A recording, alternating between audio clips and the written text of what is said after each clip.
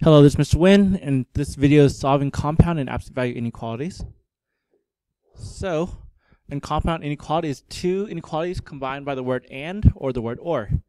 So for the left side, we see x is greater than or equal to negative 2 and x is less than 3. Um, all ands can be combined like this. We'd say negative 2 is less than or equal to x, uh, less than 3. Make sure the signs are always like this, facing the same way, less than and less than. You could do greater than greater than, but that's really ugly.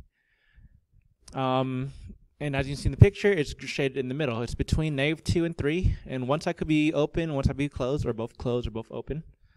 Um, one more thing I want to say is, oh, I'll come back in a second. On the right side, we have or. x is less than nave negative 3, or x is greater than 4. So I went to nave negative 3, shaded left because the letter's smaller. And the other part's or, x is greater than 4. So the letter's bigger, shaded to the right at 4. Um, use common sense here. You know, if you had a chores from your parents, say you had to clean your room and take out the trash, if you just did one thing, that's not good enough. You get in trouble. But if they said or, like clean your room or take out the trash, you have to do one thing, you're fine. So for ands, they have to overlap. They have to meet. So what I mean is this. This first one, if I just graph this right here, I'd go to negative 2, make it close, shade right, because it goes forever. And the other one, this right here, I go to 3, open, I'd shade to the left.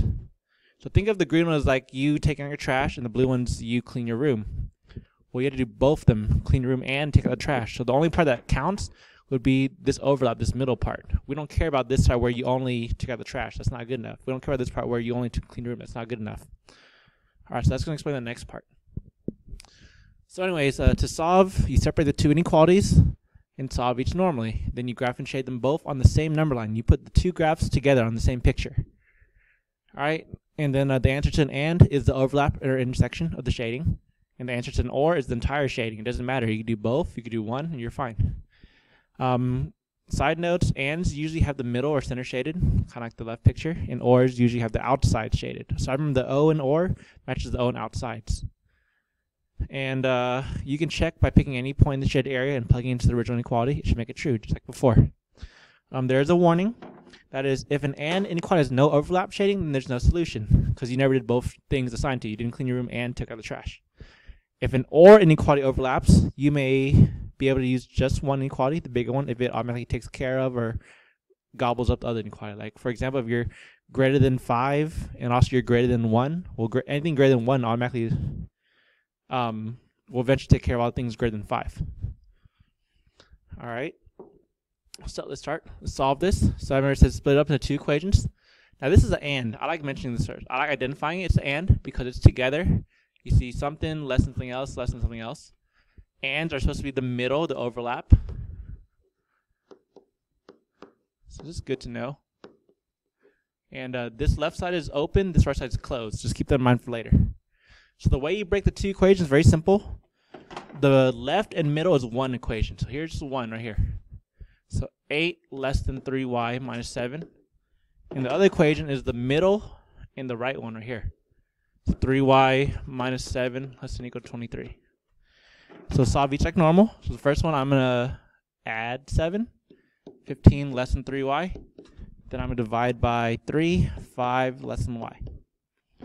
Same thing over here. So let's first add 7. 3y less than equal to 30 then divide by 3, y is less than or equal to 10. So you see how y is bigger than 5 and less than or equal to 10. So it's between 5 and 10. We can't tell. We're going to graph this. And when you graph, you must have the numbers you got. Make sure the smaller one's on the left. So 5 is first, 10 is second. And I'm going to do all three, but y'all can take a shortcut. So the first one is bigger than 5. So open at 5, going right. The second one is close at 10, and smaller so going left. The overlap is his middle. So all you have to graph is the middle part. So it's open here, closed here, and shade in the middle. All right, now you must always combine your final answer back together. So don't give me two inequalities unless you have the word and in between, because and doesn't disappear. So you can say this right here, this and that. Or what's better is you can say 5 less than y less than 10 with the 10 being closed. All right, so that's the same thing. All answers can be combined together. Also, we could do interval notation. Remember how far left? We're going to 5, but it is open. And it goes all the way to 10, but 10 is closed. This is any number between 5 and 10. Or we could even do set notation. We can say y equals a set of all y values such that this inequality is true. There you go. So any of that works, but I need the picture and one of those four things. One of uh, these four things I box. Or sometimes they ask you for a specific question, a specific method, format. All right, so that's the and. And I notice it's middle shaded. This next one's an or. Now, ors are obvious. Ors actually have the word or in the middle. So there's no two forms. So for ands, they might give you the word and or they might give you the combined thing already. For ors, you must see the word or. So ors are super obvious. So you just solve each them like normal. So for this first one, I'm going to subtract 6. So k is less than negative 10. And then I'm going to divide by 3 here. So k is greater than 14 over 3. All right, you graph both at the same time. Now I'm expecting to be the outsides, but we'll see. Sometimes they overlap. The small one first, negative 10 is smaller. The positive fraction is obviously bigger. For negative 10, I'm open, and k is less, left. Letter smaller, go left. All right, on the other one, k is oh open again, and k is greater, so right.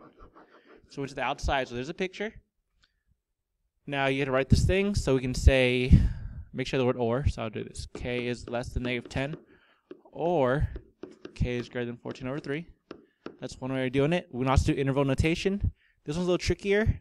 So for the first piece, we go left forever, negative infinity. And then we go all the way to negative 10, but we don't count negative 10. It's not closed, it's open. And then we have the word or. When there's a gap you skip, you use this u, meaning union or with. So or.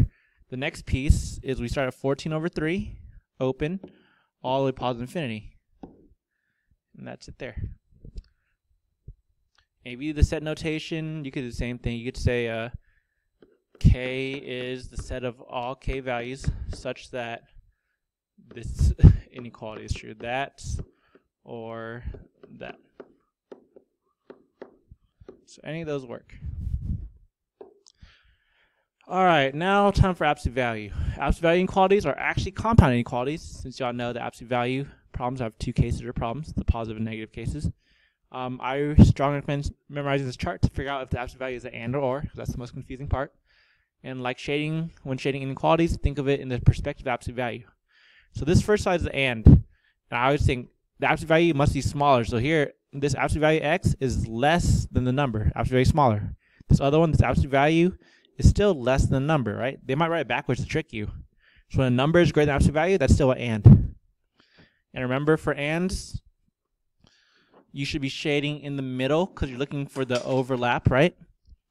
And uh, also the middle, if you think of a number line, let me draw it fast.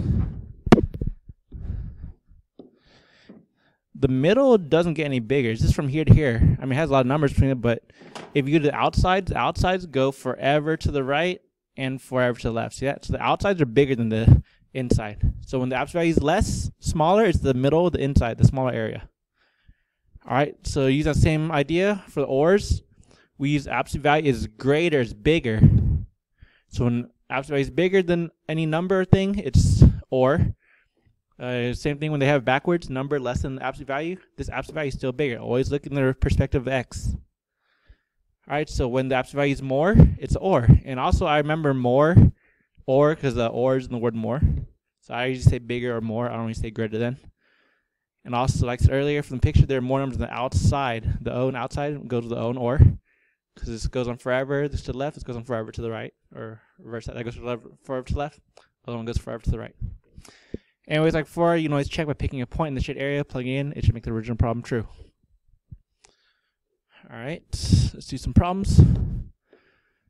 So, absolute value of x plus 2 uh, is less than 5. So hopefully you know it has to be between, the left side to be between negative 5 and positive 5 and smaller. So like 1 be good because absolute value positive 1 comes out positive 1. So anyways, I'm identify. This is absolute value less. This thing is less. So less means and. And means middle. or uh, overlap, right? I'm going to write the two problems. I like method two here because method one has a trick to it. And I wrote it right here. If you use method one for solving absolute value, you must flip the inequality when you multiply the right side by negative one for the negative case. But if you use my uh, method two, you just go straight to doing it. So I'll do positive one, uh, parentheses, x plus two, less than five, and then negative one, parentheses, x plus two, less than five. Because method two doesn't make you uh, multiply the right side, and you don't have to flip. So remember, all the numbers size stay the same, just the positive one, negative one. So I distribute, which was no change, and then I subtract two, I get this. Over here, I distribute negative x minus two. I'm going to add two. I'm going to divide by negative one. Now I am divided by negative, so I must flip the sign. So this is where the sign flips. So if you did the method one, you should flip the sign at the very beginning. All right, if I graph these two together, they're supposed to meet in the middle. So I'm going to kind of just eyeball it. So we have negative 7 smaller, positive 3 is bigger. Um, for positive 3, it's open, and we're going left. For negative 7, we're open, and we're going right. So this is the middle. So we're going to say uh, combine the two, or write the word and.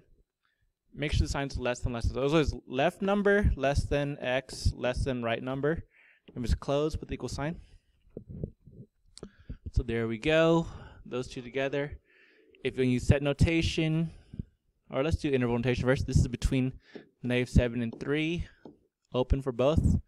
Um, we also could do set notation. We could say x is a set of all x is such that, or the condition that this inequality is true.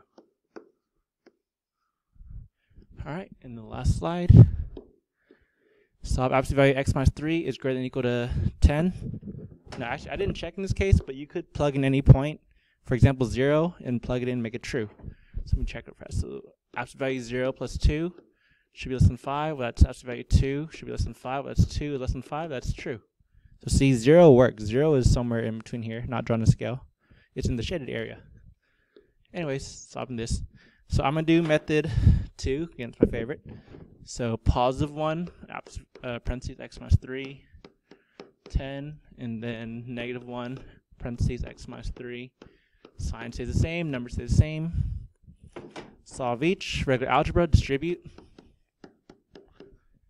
Add 3. And that's it. Over here, distribute, negative x plus 3. Subtract 3 this time. Divide by negative 1. Because we're dividing by negative, the sign flips. All right, this is a or, so I should identify that right away. Uh, remember, we should be looking at the outsides. We don't care about the overlap. So graph it. It's throwing me off. All right. Remember, small number on the left. So let's see, 13, negative 7. Negative 7 smaller. 13 is bigger. Um, they're both closed, so be careful here. So for the 13, closed. X is bigger, so we're going right. And if other one negative 7, closed. X is smaller, we're going left. All right. Remember, you cannot combine this, so you can just say, uh, you just put an or, so x is less than equal to negative 7, or x is greater than equal to 13. That's all you need. You could do interval notation, so it goes left forever, negative infinity, all the way to negative 7, closed. Or, or with, with the u, so it just means or. The right section is starts at 13, and it goes all the way right positive infinity. You could do set notation if you want. This is letters x, so x is the set of all x's such that x is less than or equal to negative 7, or x is greater than or equal to 13. Alright, any of those work. Alright, thanks for watching the video. Make sure you ask questions in class. See you in class. Bye.